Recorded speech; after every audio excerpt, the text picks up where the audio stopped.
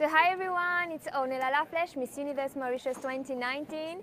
I'm here with Fadi. Uh, he's getting my hair ready for my next look and I am so happy to be using the Chi products in the backstage of Miss Universe 2019. So I think that Fadi can talk to us a bit about the products. Actually, Ornella Miss Mauritius has asked me to do a ponytail for her uh, interview today. So I, to start with, I, uh, I tamed her hair with the Chi Lava iron and uh, I used the Chi Ultimate Control to tame the flyaway hair.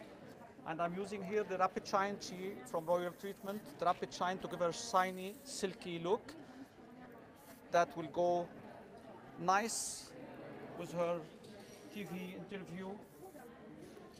And look at this shine, look at this silky hair.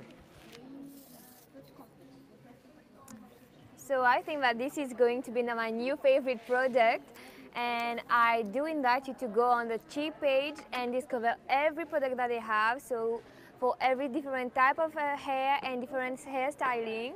Um, so thank you, Fadi, for helping me out Thank with this hairstyle. Have a nice day. Bye. Thank you.